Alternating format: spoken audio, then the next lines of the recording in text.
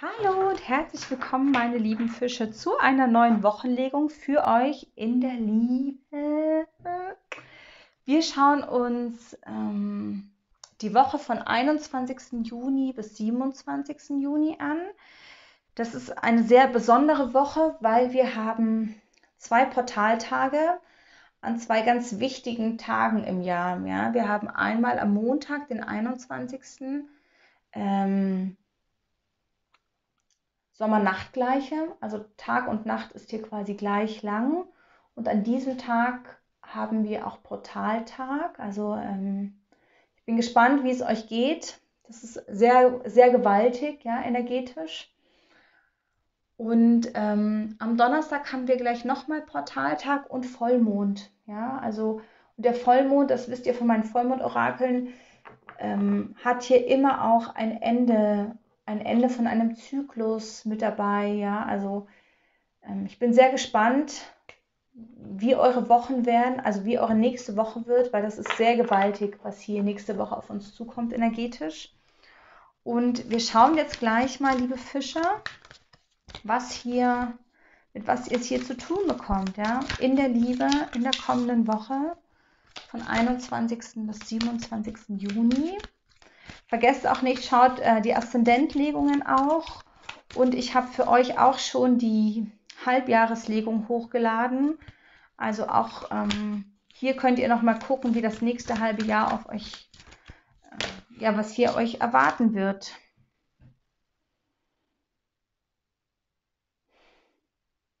Rückschritte. Witzig, ich hatte diese beiden Karten bei der Waage gerade auch schon. In einer anderen Kombination. Aber ähm, ich nehme hier Rückschritte wahr, ja, von 12 zu 11. Okay, was haben wir hier noch in der Liebe für die lieben Fischegeborenen in der kommenden Woche? Na? Okay, drei Karten noch.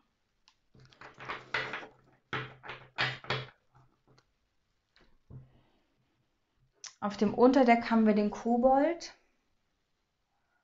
Und der spricht gern von Ängsten, Sorgen, Zweifel, ja, irgendwas, was uns Angst bereitet, was in der Dunkelheit noch lauert. Wir genau wissen, dass es da noch lauert. Mhm.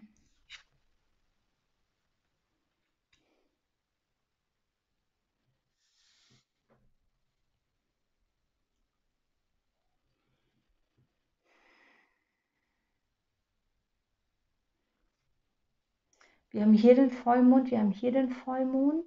Ja, also der Vollmond wird für dich, lieber Fisch, wichtig werden. Ähm,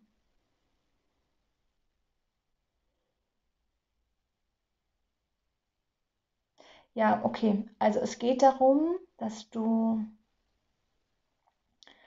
Rückschritte nochmal machen wirst in der kommenden Woche. Ja, irgendwas ähm, wird sich nicht so realisieren, nicht so umsetzen, wie du das gewollt hast. Ja, obwohl du hier viel Zeit und Mühe investiert hast, ähm, wird das hier schwierig. Ja, und es wird sich nach Rückschritt anfühlen. Ja? Ähm, gleichzeitig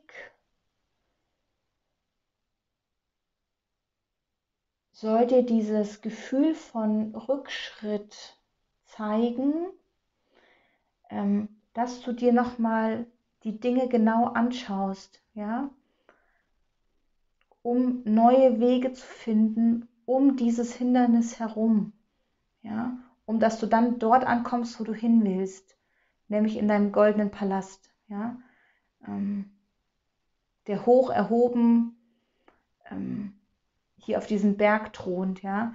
Aber es ist eben auch ein Weg, der nicht leicht zugänglich ist. Also du musst hier nochmal Hindernisse überqueren, also durchqueren, überqueren. Ähm, und das wird sich nach Rückschritt anfühlen. Ja, das ist aber in dem Moment, also in dem Moment, wo du das Gefühl hast, irgendwie es läuft in der Liebe nicht so, wie du es gerne hättest, ja, ähm, ist das hier die Aufforderung im Endeffekt hier nochmal genauer hinzuschauen. Und dann wirst du hier auch erkennen, was du tun kannst, um dass du dorthin kommst. Ja, wahrscheinlich bei dir eher um den Donnerstag gedreht. Ich nehme den Vollmond hier sehr, sehr stark wahr. Ja, also ähm, genau. So, für die Liebe wollten wir auch noch eine Karte. Ähm, Liebe geistige Welt für die lieben Fische. Eine Engel der Liebe-Karte. Bitte eine Engel der Liebe-Karte für die kommende Woche. Engel der Liebe-Karte für die kommende Woche. Versuch hier mit Leichtigkeit. Versuch hier mit Leichtigkeit dieser Situation irgendwie entgegenzugehen, ja. Also wenn das sich schwierig, kompliziert anfühlt, ähm, versuche quasi dich nicht reinzusteigern, sondern ähm, gehe aus der Situation raus und versuche sie auf einem anderen Weg nochmal äh, zu, zu meistern. Ja? Also wie wenn du hier siehst, okay, du kommst um diesen Berg nicht drum herum, ja, dann gehst du eben mittendurch, zum Beispiel. Ja? Also eben in Bezug auf die Liebe, das wird bei jedem bei euch was anderes sein. Das können hier Kommunikationsschwierigkeiten sein zum Beispiel. Das kann hier auch einfach ähm, zu wenig Zeit sein, die man miteinander verbringt. Ja, ähm, ja, irgendwas, wo du das Gefühl hast, du machst Rückschritte anstatt Schritte nach vorne. Ja? Und jetzt ist gerade die Kerze ausgegangen. Wir machen wir natürlich eine neue an. Geht natürlich nicht. So, also ähm, ja, geh nicht verbissen an diese Situation, sondern versuche das quasi mit Leichtigkeit zu lösen.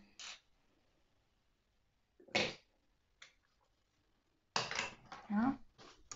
Gut, wir gucken mal noch, ob uns die Lenormand-Karten hier nochmal zusätzliche Informationen geben. Liebe geistige Welt, für die kommende Woche, für die lieben Fische, hätte ich gern drei Karten.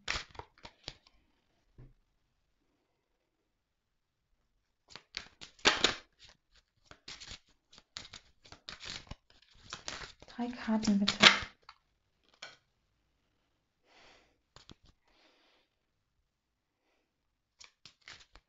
Seht ihr, was da liegt?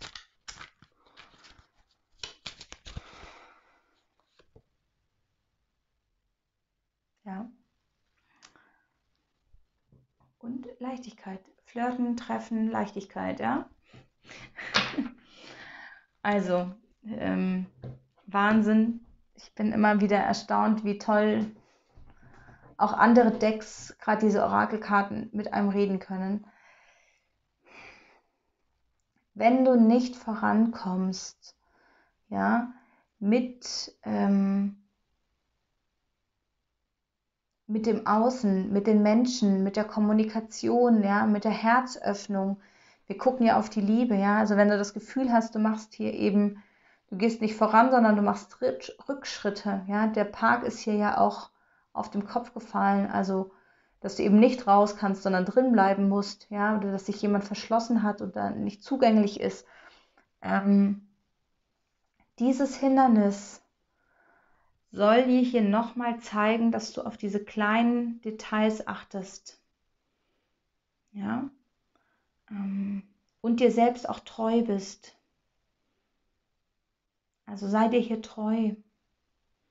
Und dann kommst du hier ich sag mal, in deinem goldenen Palast an. Ja. Und ganz klar mit Leichtigkeit.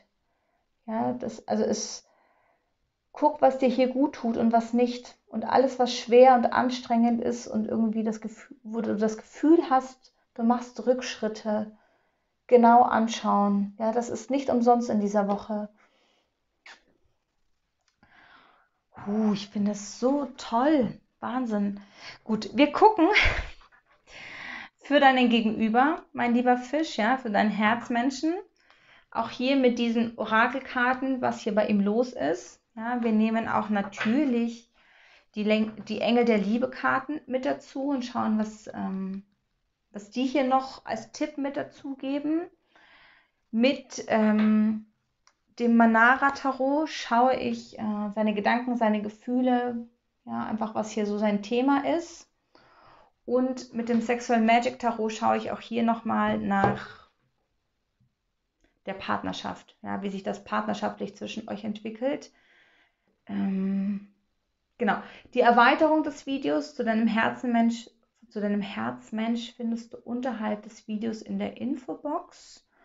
Und ähm, ich hatte es vorher, glaube ich, schon gesagt, äh, die Halbjahreslegung eben für die nächsten sechs Monate ist auch schon online für dich, lieber Fisch. Also gerne gucke auch dort hinein.